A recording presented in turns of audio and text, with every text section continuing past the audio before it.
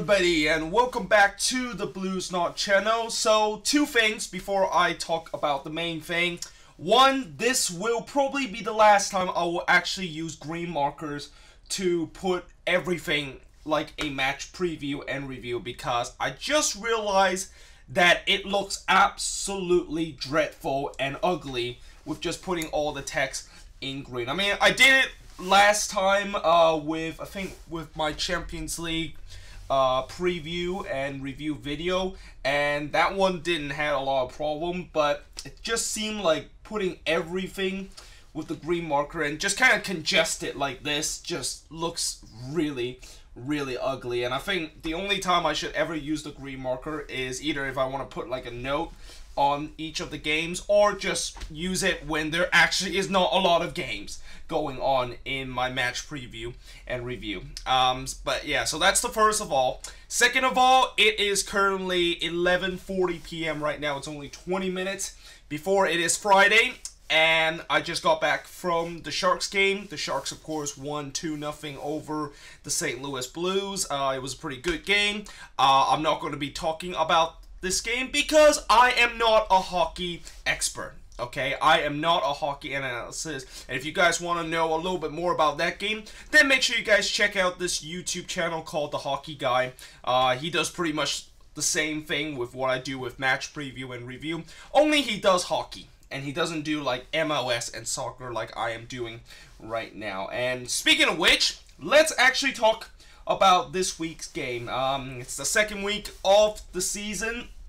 Uh, there's going to be nine games this weekend, which means that there's only 18 teams playing this week game. There's going to be five teams this weekend that has the bye week, and actually I put it right here, and that one of the five team, including my San Jose Earthquakes, um, who will have a bye week this week, which means that this gives me a chance to catch up uh, the rest of the league and watch pretty much a lot of the games and just don't have to focus on the San Jose Earthquakes playing.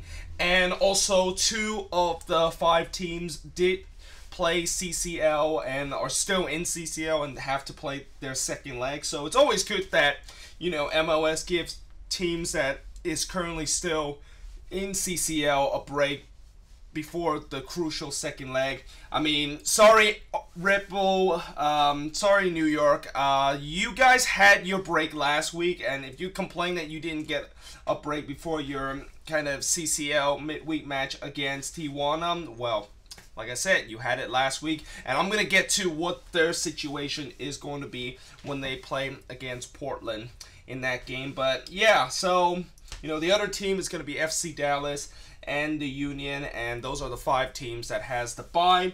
Um, there's also going to be three teams that will be playing their first game of the season. Those three teams are the team that did not play in the first week of the season, and they will of course play their first game of the season. And I think all those three teams are all at home. Oh wait, no, they're not, because Colorado is playing their first game, and they're actually going on the road. Um, New York actually is playing at home, and um, uh, who was the other team that played playing their first game? Okay, oh well, we'll just kind of go through and then we'll find out who else is playing. Oh, Chicago, yes, Chicago is playing their first game, and they're also playing home. So it's just the Rapids are going to be the only team that hasn't played a single game will be starting on the road for the first game in the second week. But yeah, without further ado, let's actually begin with the first game. Uh, it's going to be Columbus against the Montreal Impact. Columbus made a huge statement last week by beating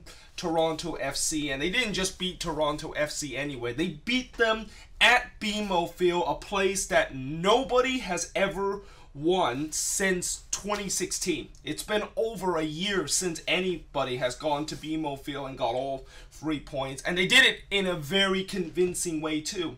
I mean, you know, the crew is one of those teams that a lot of people kind of slept in and kind of didn't think that they will have enough, mainly because of what happened with Justin Meram and also Ola Kamara left the team. Two of the best key player from that crew team that made the playoffs last year and make that playoff run. But it just seems like even without Kamara and Justin Meram on the team against Toronto, they didn't look like they missed those guys. And I think maybe that has something to do with the supporting cast for the crew that really started to take up to the next level and become really the the star of the team. I mean, I'm talking about guys like uh, Higuain and also Pedro Santos. Those guys were kind of like supporter cast for the crew last season, and they really stepped up in this game. And also the fact that you had Gyasi Zardes scoring a goal. I mean, whenever if you have Zardes scoring a goal for you, then you know good things gonna happen, and that is exactly what happened to the crew. Uh, Montreal obviously lost to Vancouver 2-1. Uh, no surprise there, you know, it was always going to be tough for the Impact to go on the road and go to Vancouver to get a win. Although, you know, they didn't have a very bad game. They almost got a point out of that. Um, but unfortunately, they lost there. And I really think that this should be pretty simple. I think the crew should win this one easily. I mean, Montreal is going to be a, be coming into this game just kind of like what I said last week, you know, they're kind of a rebuilding team, a very young kind of squad that is just kind of getting some experience. They're trying to trying to see if they can like improve on some of their young start and you know they're probably just going to be near the bottom of the table and Columbus after that impressive win against TFC, I just don't see what can slow them down in this game. And they're also playing at home too. And that's another interesting thing. How many people are going to actually show up for this home game? Because I've been hearing that they've been saying that they want to like kind of boycott this game and the fact that they're not happy the crew is moving to Austin and you know the save the crew kind of campaign the fact that they want to boycott this this team and they don't really want to support a team that has an owner that want to relocate but i just think that for if that is how they do it i think that's the wrong way to do it you know I, i'm a, i'm kind of like part of this campaign with the save the crew situation but you know, I really think boycotting is not a good idea. I think if you're going to get your owner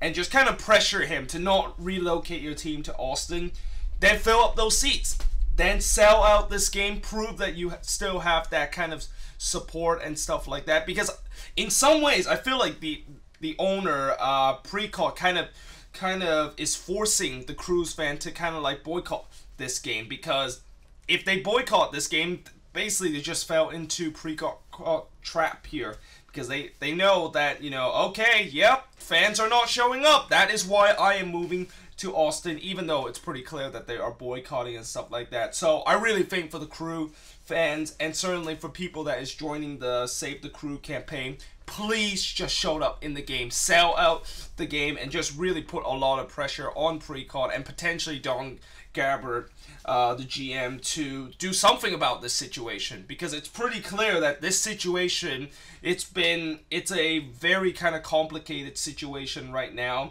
and it's just going to continue to linger as the season goes on. But either way, let's talk about the next game. Uh, the Revs against the Rapids.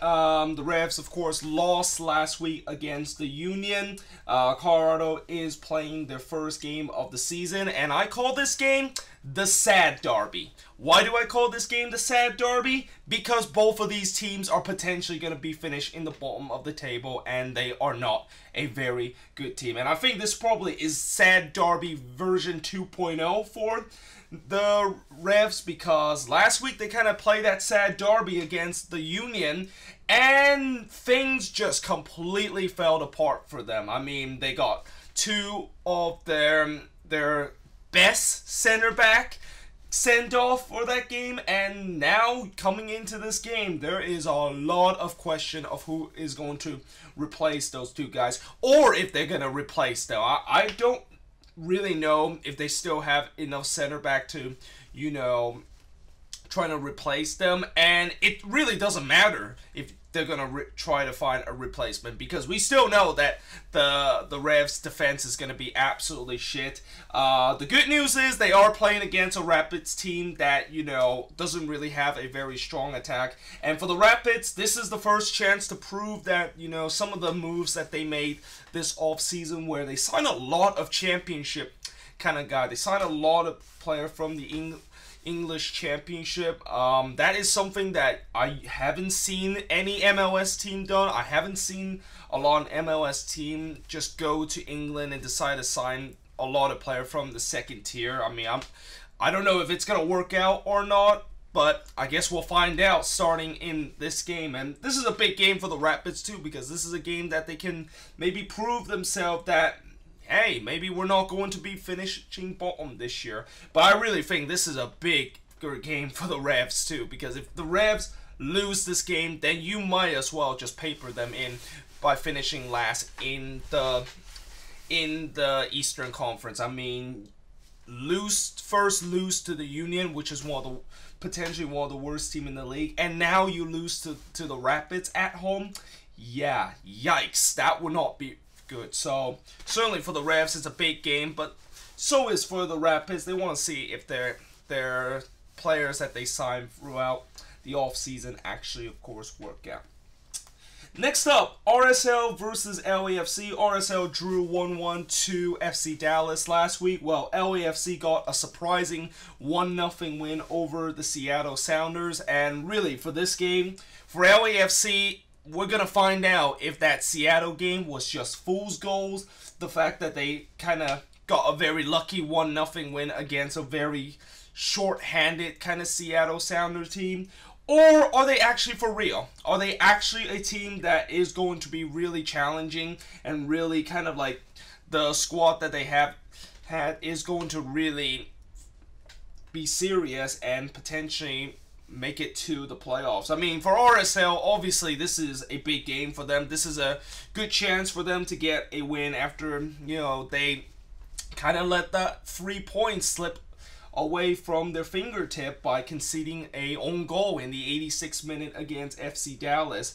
And, you know, I really am very skeptical about LAFC coming into this game and getting something or get I think they maybe get a point out of this, but that is the best I can say. I really don't think they're going to get all three points, especially the fact that they're going to be playing a much better team than the Seattle Sounders were. I mean, this like I said, the Sounders were playing their second team, and they even got outplayed in that game. I mean, they kind of got really lucky the fact that the Sounders did not have their shooting boots on in that game, and they escaped with a one nothing win. Um, and I really think RSL is just a team that you know is not going to have that off day. I mean, they had an off day against FC Dallas, but at home they're just really, really strong. They're one of the strongest home side from last season. So I expect RSL to win this one and really kind of bring a couple of those LAFC fan that is kind of like in dreamland right now back to reality because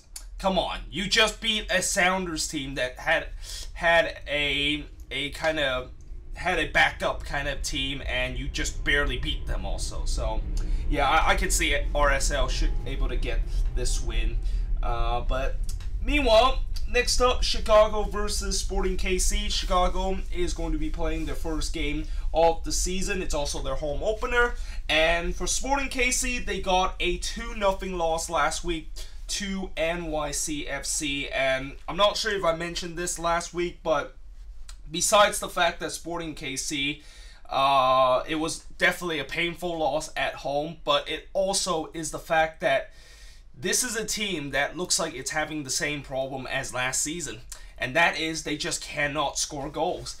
And as much as this team has a stellar defense, which kind of got tested a little bit in that game by NYCFC, um, as long as if they don't have a goal scorer on their team, this could be a bit of a problem. And I really hope Sporting KC won't fall in that same trap that the Rapids were a couple of years ago when they were coming off of a year with a stellar defense, but really nothing going up front, and then heading into the second year with that sort of same stellar defense, and then just completely fell apart from last season. I hope Sporting KC won't fail in that same trap.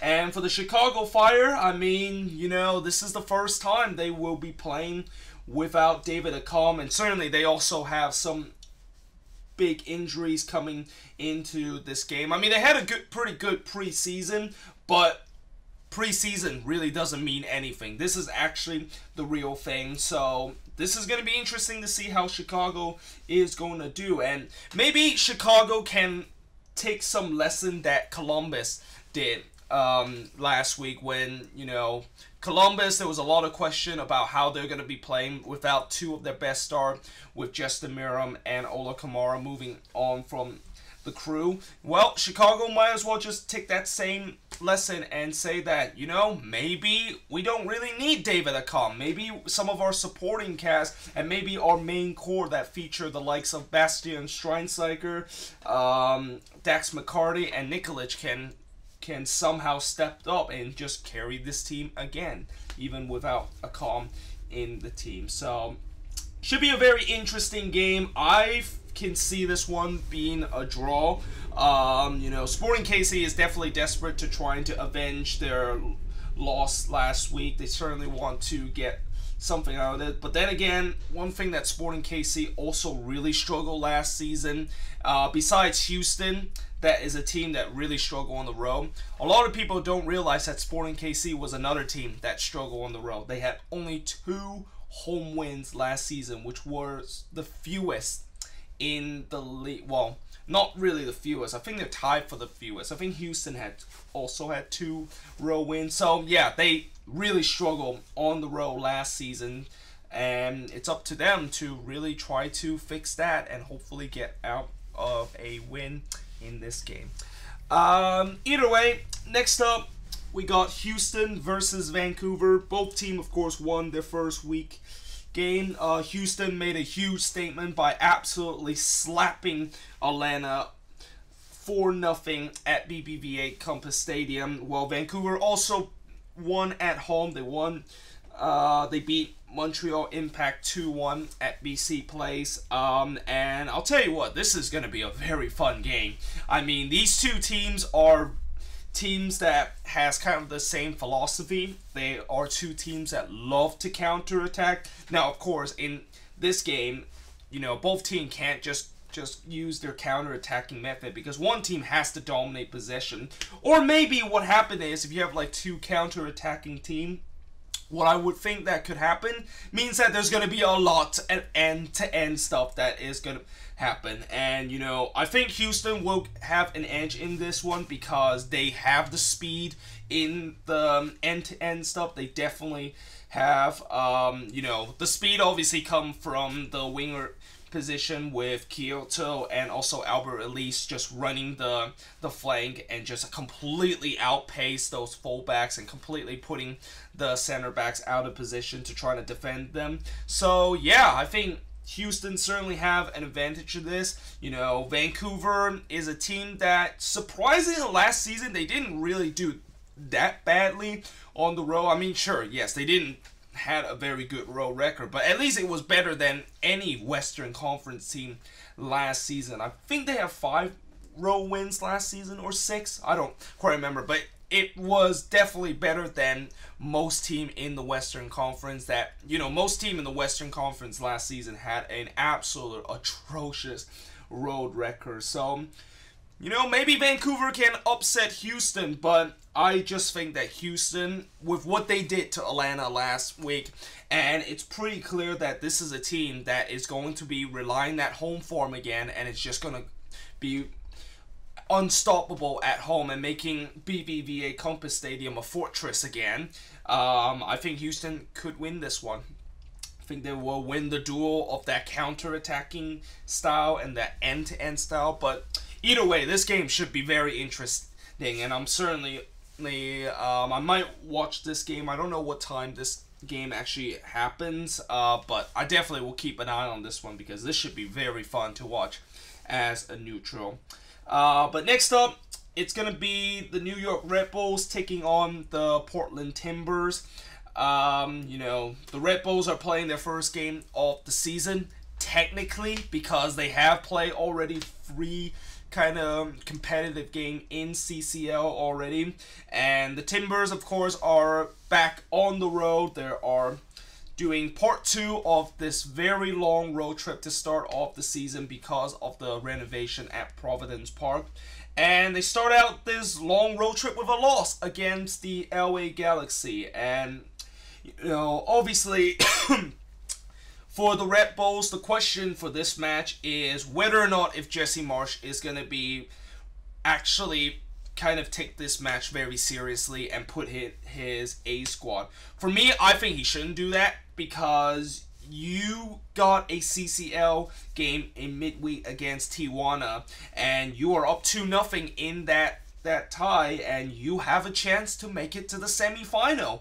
And you know, if I'm Jesse Marsch, I would just sit out some of my most important starters like Tyler Adams uh, and maybe Kaku also and rest them for that game because that is going to be a very big game for the Red Bulls. And, you know, I know the Red Bulls are not a team that has openly said that they are going to be focused solely on the CCL. They're not like the Seattle Sounder where they just say, we're going to focus on the CCL. That's our first priority. And then, of course, the league. And hence, that's why last week when they play against LAFC, they put a very weak squad. But, you know, if I'm the Red Bulls, and if I'm Jesse Marsch, I think the smart thing to do here is just start a kind of B squad. I mean, Portland is still a very good team, but after what I saw from them against the Galaxy and how shaky that defense is, yeah, I really don't know if Portland is going to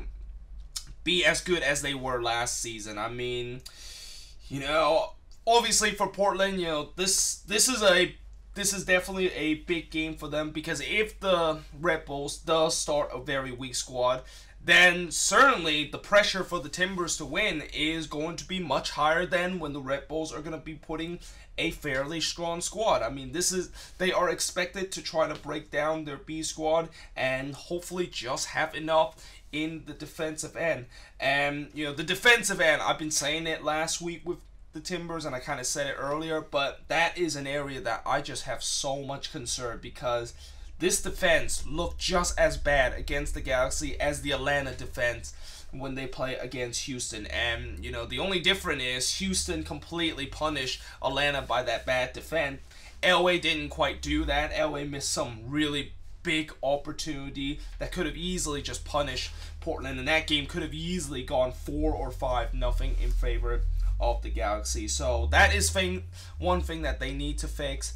And you know, for me, I will say that if the Red Bulls go with a weaker squad, then I think this is going to be a draw. But if they go with a stronger squad, then I think the Red Bulls should win this. The Timbers are just not as good as they were last season. And you kind of start seeing this kind of Timbers kind of trend where a lot of Timbers fan has also talked about this and how, for whatever reason, this team one year makes the playoffs and then the very next year they just drop back down and miss the playoffs. I mean, it's it's very weird. It's very kind of inconsistent kind of stretch that they've been going for the last couple of year based on their history in the last couple of years in MLS. But either way, um, next up we got Orlando City versus the Minnesota United. Um, and a subscriber in my review video talked about how they love the content that I am doing. They love what I'm doing with this preview and review stuff. But he also kind of mentioned about me not actually talk about the injuries and kind of like the other factors into that game. And first of all, I want to thank that subscri subscriber or that viewer that, of course, make that comment because I didn't do that. And I think because I didn't do that, I made a huge mistake on Orlando City part because looking at Orlando City and looking at the squad that they started in the last game, it was very, very weak. And there is a reason why they started a very weak squad because Orlando City is actually sort of in an injury crisis right now. Jason Kreis just had to juggle so much injury right now. Pretty much the players that they brought in from the summer, or not the summer, but the winter. Um, guys like Sacha Kljestan, uh, Justin Meram, um, and Uri Rosell, uh, Dillon Powers, and uh, Dom Dwyer. Well, Dom Dwyer got brought in in the summer, but pretty much except for Justin Meram, all those guys are out or suspended. And coming into this game, it's going to be the same story again. They're going to just only have Justin Meram as the only guy that they had after they bought so much and they made so much changes to their squad. And now they also will not have PC, who of course got sent off in the last game in the midfield. So there's going to be a question of who's going to replace him in that spot. And, you know, they're playing against a Minnesota team that you know, was absolutely dreadful in that game against the Quakes. And really, the only reason why they, I said that they they kind of they actually looked like they had some fight was because the Quakes decided to completely switch off after 80 minutes and in the last 10 minutes they decided to finally wake up and unfortunately it was just a little bit too little too late. And this obviously for Minnesota doesn't get any easier um, you know, Orlando, even with a weaker squad against DC United, they look very impressive, even when they were down to 10 men. So, yeah, I reckon, you know, even with the injuries that Orlando City has, this is a very good opportunity to get the get a win. And they really need this win because they're playing at home. You do not want to drop back-to-back losses at home to start off the season. I mean, if you do not get anything out, well, not back to back losses, but back to back games without getting any single points at home, that is not a good thing to do because in the MLS, you need to win your home games. And to have your first two home games drop like that, that puts a lot of pressure on the, the road. And usually, road teams are not.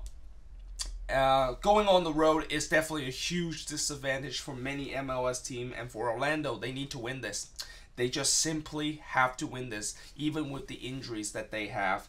Um, and also Minnesota, they also have injury to um, add Abu Danladi to that injury list too because I think he suffered an injury and hence that's why he came off and Ramirez of course come on.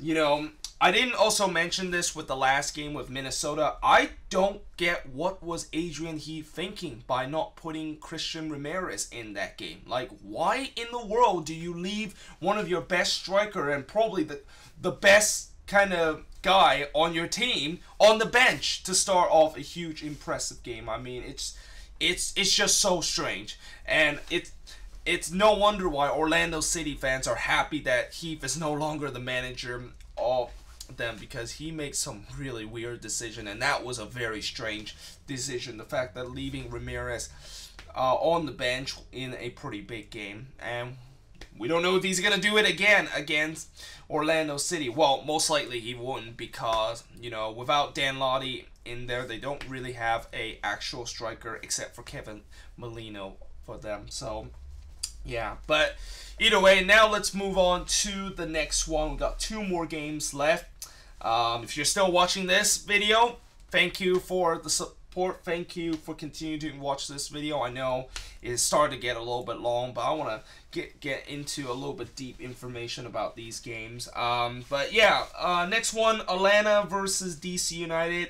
Uh, Atlanta, obviously the big story from last week. They completely shit the bed against Houston. Completely fell apart by losing 4 nothing against Houston, and it was just an absolute embarrassing loss for Atlanta. Uh, DC United, of course, um, drew 1 1 away to Orlando City. Now, coming into this game for Atlanta United, you know, the good news for Atlanta is that they're going to be playing a weaker team. Um, and they also are back home, which is good thing for them because they always tend to win at home. The bad news for Atlanta United is that the weak team that they are playing is DC United. And if you mention DC United to any Atlanta United fans, um, and any Atlanta United fans that saw them play throughout the whole season, then they would have nightmares and PTSD kind of moment whenever they saw Atlanta play DC United because of all three games that Atlanta played DC United, all three resort in DC United winning. I mean, I honestly don't know what to say about how in the world did DC able to get three straight win against Atlanta team. And the other funny thing about that is if Atlanta would have won one of those three games, they would have actually finished second last year in the Eastern Conference because last year I think they were only like two points back of the Eastern Conference um, when the whole Eastern Conference was finished. So if they would have won one of those game against DC United, they would have been in second place. They didn't even have to worry about a first round game. They didn't even have to worry about a game until the second round. So, you know, that is how huge it was. The fact that Atlanta just, for some reason, cannot beat DC United. It just feels like DC United is the biggest bogey team for Atlanta, and I just don't know how DC United are doing to this to Atlanta. I mean, are they playing it? I, I didn't actually like watch most of the game, but every time I see DC United beating Atlanta, I'm like, what? What's what's going on? Why is the worst team able to beat one of the best team in the East all of a sudden? But with all kidding aside, Atlanta really need this. You do not want to start a season with a back-to-back loss. And I know, you know, I heard that some columnists and some media talked about how, yeah, it's still a very kind of young kind of MLS season. We're only two weeks, and you can't really draw a big conclusion on the fact that teams got off to a slow start. Oh no no no no no no! You do not understand. Okay, if you get off to just such a slow start, like this, if Atlanta drop another game, then this really puts the pressure on them to really get some some big wins down the stretch. And against a team like DC United that is not very good at all, they really need to win this one, and they really need to solve this kind of hoodoo they that they have with DC United. If they don't, they're gonna have to do it again two more times, and I'll be shocked if DC United can can stay undefeated and will never lose to Atlanta by the end of the year because something must be going on between DC must have a secret formula to def- able to defeat Atlanta that the rest of the league probably don't know. Well, to be fair, maybe Houston kind of stole that formula from DC from the last game. But either way, let's actually now moving on to the last game. Uh, I know we're about 32 minutes into this video. We are almost there, boys and girls. Um, but yeah, this is the last game of the week. By the way, this game is a Sunday game. Um, it's a 12 o'clock kickoff my time, 3 o'clock kickoff in Atlanta. Um, but yeah, the last game, NYCFC against LA Galaxy. NYCFC got a massive win last week.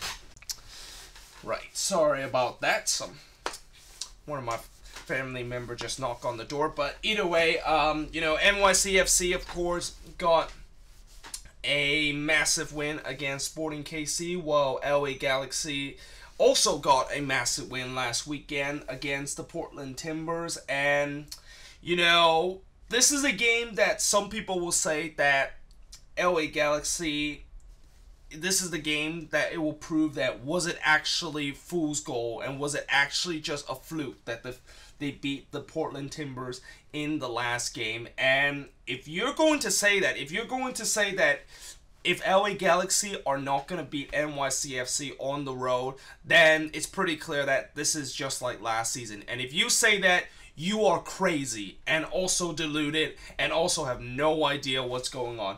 NYCFC is one of the best team in the league and this is a team that is going to definitely challenge for supporter shield in the east and really going to put a lot of pressure on TFC this year for the supporter shield and they proved it in that game against Sporting KC and I really think that, you know, this is a really tough game for the Galaxy. And with the way that, you know, this is a game that I really think they're going to be tested from top to bottom. First, we're going to see if this LA Galaxy team can break down this NYCFC defense, which is also really, really decent. And whether or not if the Dos Santos brothers can continue that, continue to do very well, and also can Ola Kamara score against against big teams and stuff like that. And then the other question with LA Galaxy is that how is the defense gonna gonna um, be ready to face probably the most deadly kind of attack right now. I mean, when you have have a attack NYCFC had that featured the guys like David Villa, um, Jesus Medina, uh, Rodney Harris, and Maxi Moralez. Yeah, you're going to have a hands full against those guys. So it's going to be a huge test for this Galaxy defense, which, you know, I thought in that game against the Timbers, they did pretty well for the first half of the um, the first half of that game, but then the second half it kind of got a little bit sloppy at times. So, yeah, this is a big test for the Galaxy. But I won't say that if the Galaxy lose this, that this is a complete fluke, that they just are going to be back to their form they were last season because it's NYCFC. It's such a tough team to beat, and you're going on the road at Yankee Stadium, a place that, you know, people always complain about the field and stuff like that being very small, but NYCFC just takes that as an advantage and yeah, it's gonna be a difficult game for the Galaxy, and I because of that, I really don't think they're gonna win this. I think NYCFC is gonna win this, and if the Galaxy does win this, then they of course can make a big statement and saying that they are back that they are going to be like the Galaxy team in the past. But yeah, let me know in the comments below what do you think of this game. We have finally made through all those nine games after almost 35 minutes of recording. Uh, I try to make it shorter, but unfortunately I can't because I had a lot to go through in these games. But yeah, hope you guys enjoyed it. If you do, make sure you guys leave a like, smash that subscribe button. I'll try to watch as many games as possible. Obviously, I have to go on Saturday and also on Sunday because I have to do the Sports Hop series, stuff like that. So yeah. Let me know in the comments what do you think is going to happen in most of this game. Any you guys can give me prediction for these nine games. And I, of course, will see you guys next time, and I'll see you guys on Sunday for the review show.